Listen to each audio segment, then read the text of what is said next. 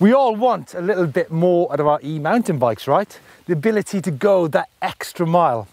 And one of the simplest ways of doing this is actually by your choice of tyre. In this video, we're going to be looking at the differences and the detail in the range between different tread patterns and compounds.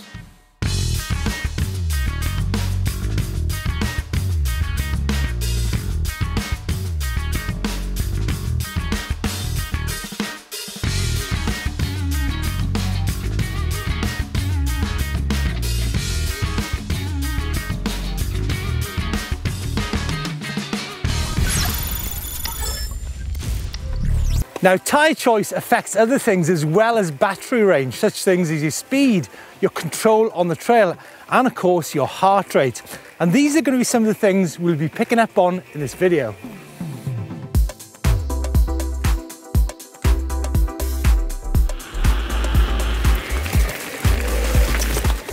We're going to be riding a range of trail and surface today, from tarmac to fire road, technical single track, and of course some uphill trails.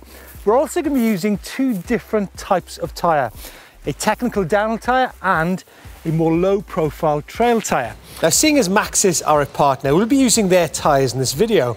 However, the results will give an insight into any tyre brand. Let's start off then with a softer and more aggressive pairing for today. Uh, on the bike here at the minute, I have the Maxxis Assegai. Now this is a full on World Cup downhill condition tyre, but it's also really good for e-bike use as well because it's so aggressive. Uh, weighs in at 2.94 pounds, it's 2.5 wide, really aggressive tread pattern as I mentioned, plus it's really soft compound. Up the front, we've got a Minion DHF, that's also soft compound and also 2.5. Okay, we're about ready to roll. There's a big hill ahead of us. It's broken down into three distinct sections, tarmac, fire road and technical. So we're gonna be looking at the data of each of those sections. So to be able to measure our data today, we're using the Specialized Mission Control app uh, on my phone. Uh, I'm gonna be riding in turbo mode on the e-bike. And in terms of my heart rate, uh, I'm gonna be using my Garmin on my wrist here.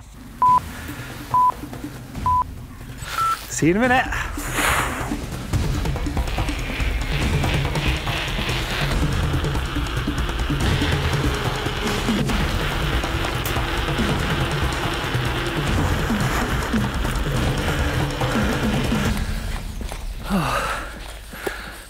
Heart rate was certainly pretty high with these super soft compound tyres. Average heart rate 118 beats per minute and maximum heart rate 142 beats a minute. Uh, average speed 14.4 mile per hour, maximum speed 21.9 mile an hour, and the total time 3 minutes 27. What's quite interesting is when you're on a tarmac road, it's very easy to get above the 25 kilometer an hour restriction. So a lot of that tarmac road, I would imagine, is going to be above that. So, but I'm not actually be using that much battery. So it'll be interesting to compare with the uh, low profile tyres later on. Obviously the critical one on this challenge is I actually used 2% battery on the tarmac stage.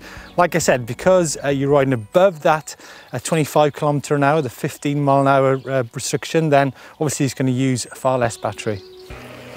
We then went through a short transition and moved swiftly on to the fire road sector of the climb. And it was here that we expected the speed to be slower and be taking more drain on the battery.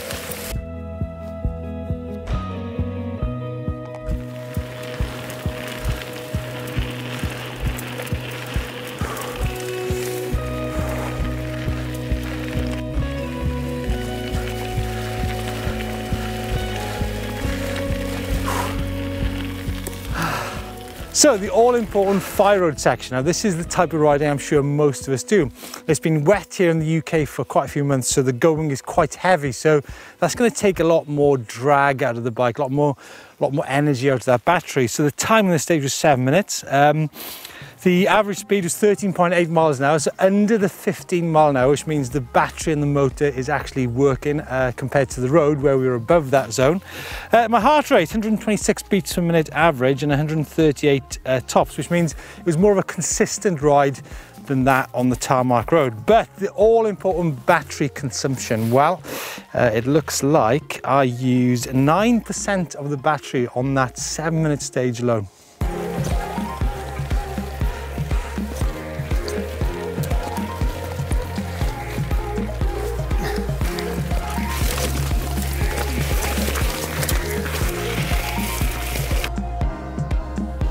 And so then to the last sector of this mixed climb, and definitely the toughest roots, ruts, and soft mud. Surely at the end of the day, this is where the soft tyre will score the highest, and where the low profile dry tyre will slip up, so to speak.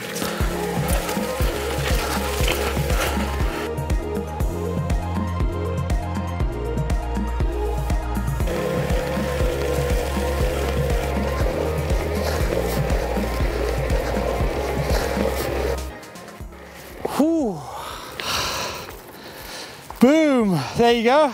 Six minutes, 19 seconds, average speed 7.7 mile an hour, maximum speed 17.4 mile an hour, 124 beats a minute average on my heart rate and 142 beats per minute maximum. What about the battery consumption on the Assegai Minion DHF combination? Ooh, 9% for that last technical section. The combined times are in then for the soft tyre attempt as I quickly swapped over to the dry style summer tyres. Now, as you can see, we're fitting something altogether different from the first run. This is much more of a, a dry weather tyre. It's a Maxxis Crossmark 2.25. It's much lower profile. It's a harder compound than the Assegai tyre. And up front, I've actually got a Minion SS. And this is slightly bigger. This is 2.3. But again, you can see that low profile there, which hopefully will mean more range from the battery. So here we are then back at the start of the hill. Now it's going to be really interesting to see the effect that these harder compound lower profile tyres have not just on the battery range of the bike but also on such things as my heart rate and also the speed across the ground no more so than on this first tarmac section. Now I've only just got down here and already I can feel that the rolling resistance is far less on these tyres than on those super sticky Assegais. Get away.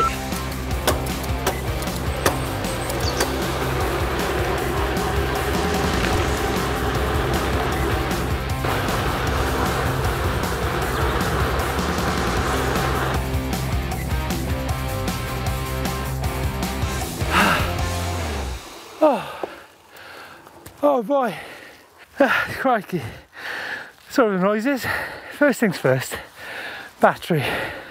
Wow, so that actually only used 1% of the battery. Wow, so that's the battery, almost half the power used compared to the first run on the softer compound tyres.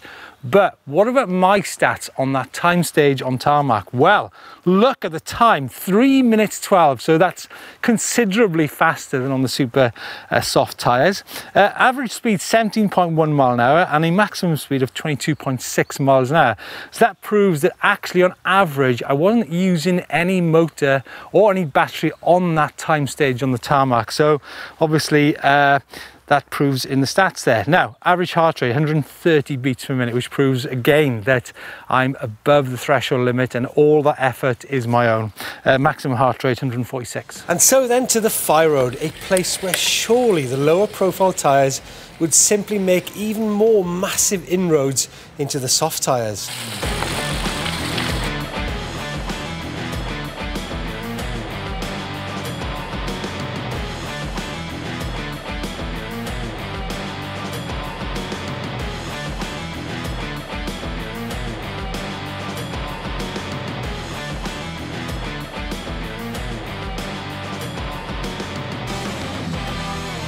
Okay, okay, so first of all, the critical number, the battery consumption.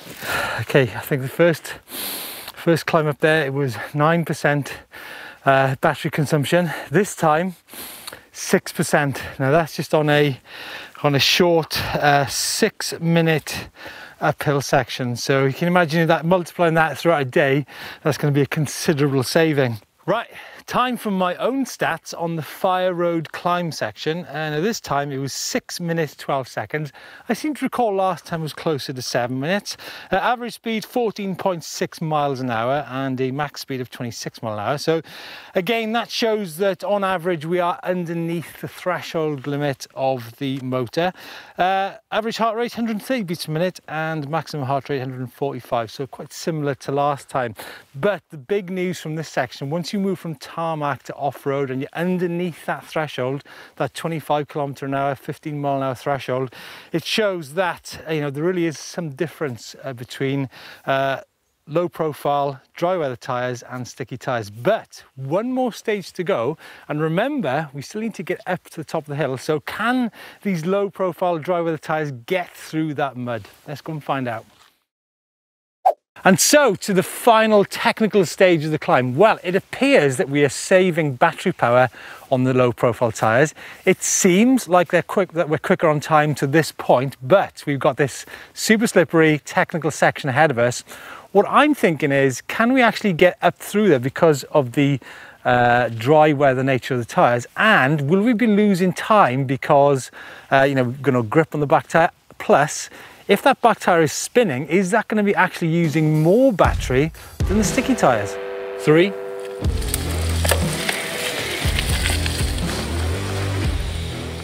Now going into the last stage, the low profile tyres were already over a minute up on time over the softer, more aggressive tyres. Surely there was no way a soft, wet, rooty tech climb would make that much difference. Or would it?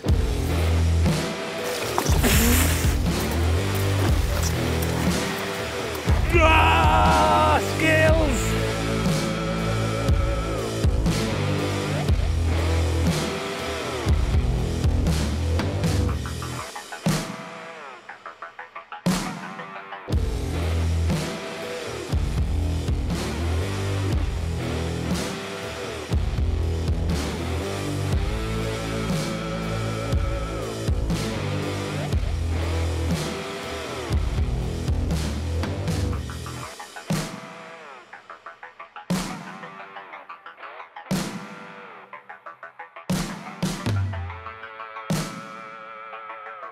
final climb of the final run then it seems again that those low profile summer tyres have the edge over the sticky tyres this time 7% battery consumption compared to the 9% on the uh, Assegai tyres. What about my own numbers then? Well it looks like it took me 5 minutes 50 to do the climb uh, average speed of 9 mile an hour my average heart rate was 135 beats per minute so again still quite a workout even with the uh, low profile harder compound tyres.